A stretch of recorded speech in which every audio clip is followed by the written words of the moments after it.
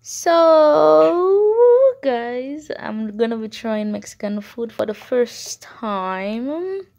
Just a little video of the food.